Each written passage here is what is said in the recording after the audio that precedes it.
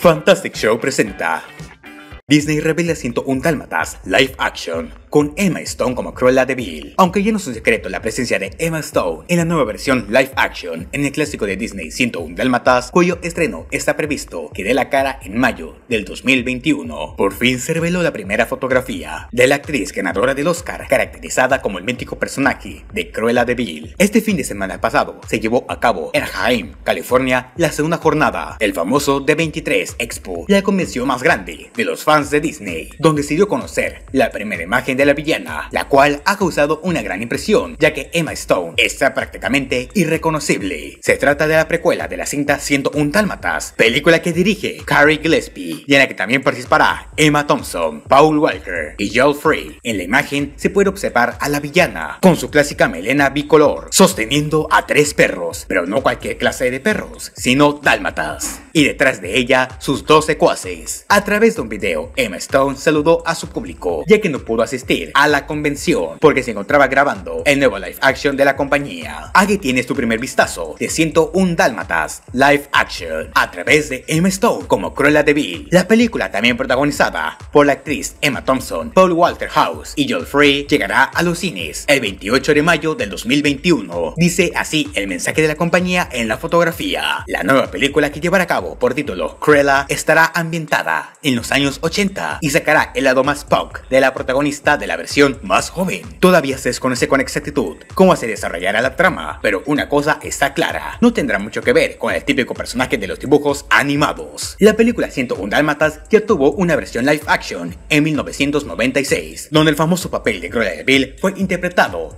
por la famosa actriz Glenn Close. Otros proyectos que se presentaron en la convención fueron la segunda película de Frozen, que llegará a los cines en noviembre y descubrirá la parte del pasado de los protagonistas, las princesas Elsa y Anna. También será la primera vez que el público conocerá a su madre, desconocida hasta el momento, y cuya voz será la de la actriz Evan Rachel Wood. Pero ¿tú qué opinas acerca de esto? ¿Crees que Emma Stone dará la talla para protagonizar a Cruella de Vil? Déjame saberlo en la sección de comentarios. Yo soy Carto, nos vemos hasta la próxima.